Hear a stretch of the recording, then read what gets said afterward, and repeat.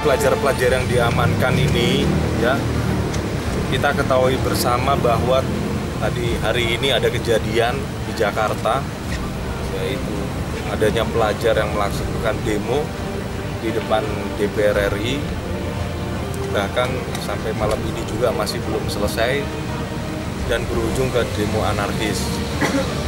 Nah ini sudah mulai terjadi dari siang tadi. Dari siang tadi terjadi di DPR sampai dengan malam ini.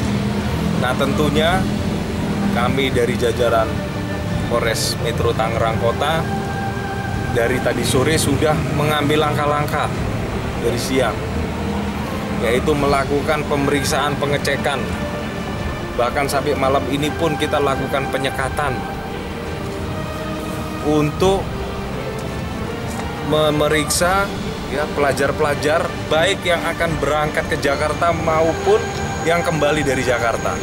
Dan rata-rata sebagian besar ya setelah saya tanya mereka itu ke Jakarta itu nggak tahu hanya ikut-ikutan. Tahunya dari mana? Dari media sosial. Tapi kita akan dalami.